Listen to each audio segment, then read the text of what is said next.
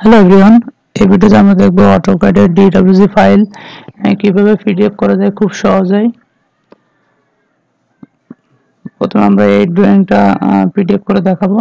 এখানে আমরা AutoCAD icon থেকে প্রিন্ট অপশানে যাব, এখানে প্লট সিলেক্ট করে। আমাদের এখান থেকে আমরা ডিডব্লিউজি থেকে পিডিএফ এটা সিলেক্ট করব।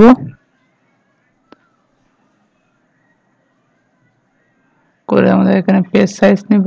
আমরা এটা এ ফোর সাইজ নিব। যদি আমাদের ড্রয়িংটা অনেক বড় থাকে, তাহলে এখানে বড় সাইজ নিব। আমরা এটা এ ফোর সাইজ ল্যান্ডস্কেপে যে মাপটা আছে, আমরা সেটা নিব। এখানে আমরা এটা সিলেক্ট করলাম। করার পরে এখান থেকে আমরা উইন্ডোটা সিলেক্ট করে আমাদের ড্রয়িংটা আছে, সেটা আমরা সিলেক্ট করে নিব।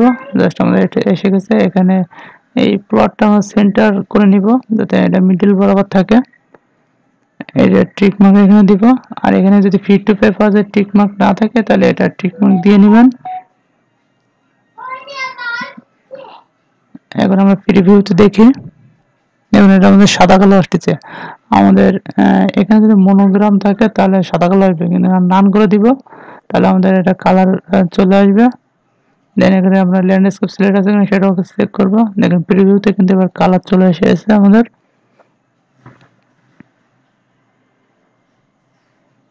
দেন আমরা এটা ক্লোজ করে দিই। ক্লোজ করে দেওয়ার পর আমরা এখানে সেভ দিব। ওকে ওকে ডেস্কটপ সিলেক্ট করে আমরা এখানে এটা ফাইল নাম যে কোনো একটা নাম দিয়ে আমরা এটা সেভ করে দিব।